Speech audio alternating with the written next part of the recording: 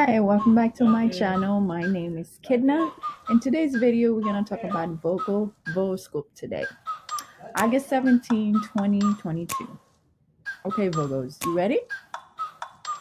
You might need to be alone today, Virgos. You're probably surrounded by people most of the time. It can be unhealthy if you don't, if you can't occasionally be alone with your thoughts and feelings. It's critical to think, take care of your emotional well-being since you have a deeply sensitive nature. With all the continuous activity around you, make time to connect with this important part of you. Today is your time. You need to have some time alone today, Virgo. I would recommend and stop trying to be perfect. That's my issue. My biggest issue is trying to be perfect, wanting things to be perfect, and that is making my anxiety more higher than it needs to be. I'm still working on it. So my recommendation today, based on the horoscope, is connect to yourself. Get some time for yourself.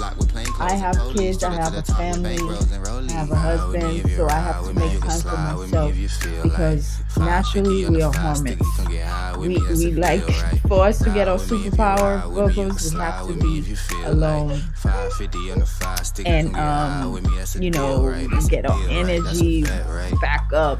But when we are surrounded by so much people all the time, yes, we like to service, help people um, by the end of the day, for you to help someone, you need to help yourself. That's why I would recommend today do a self care, even if it's for like five, ten minutes. Take time for yourself, uh, get your strength back, self love, self care. Do everything you can because we need that if we really want to help people around us and Mm, that's our superpower. We have to be alone to regenerate our strength, our anxiety, because we be overthinking, Virgo. Oh my God, and I know I'm not alone. Alright, thank you so much for watching. Don't forget, if you're interested in journaling and planners, go to my Etsy shop and get yours today. Thank you again for watching.